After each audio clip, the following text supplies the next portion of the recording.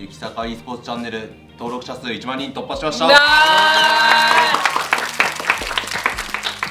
皆さんのおかげでやっと1万人突破することができました。ありがとうございます。ありがとうございます。はいえーとまあ、この動画を出てるということなので、えっと、1万人突破記念の記念配信をやりたいなというふうに思いまして、はい。はい、えーと、日時が4月3日の19時から約3時間で、えーと、なんと生劇坂塾を生劇坂です。ね、はい、やりたいなというふうに思いましてえーとまあ、概要については、えーとまあ、生フレマを自分たち3人1人ずつ、はい。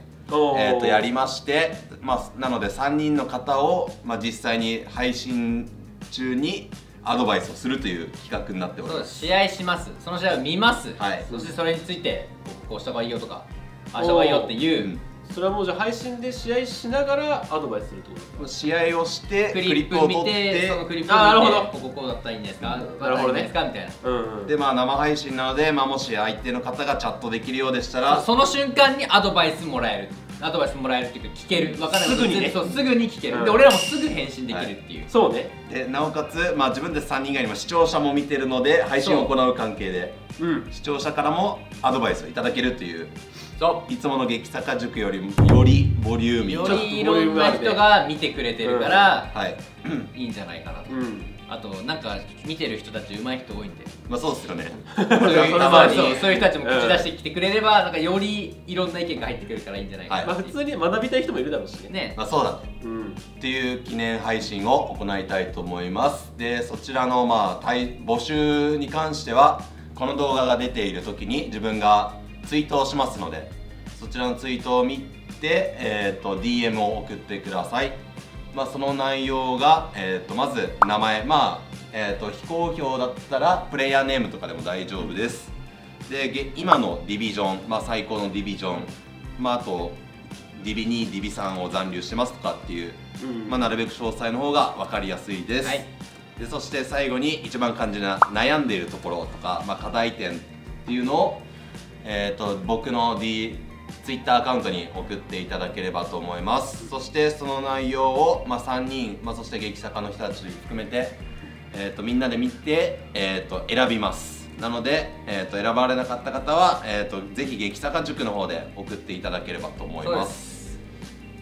っていう、まあ、大雑把な感じはこんな感じでマヤゲカさん的にどういう人の悩みというか見たいとかってありますかね？まあもう4回ぐらいやってるんですけど。結構やってるからね。そうなんだよね。結構ね悩みの種類としてはね、はい、ちゃんと出てきてる、しっかり。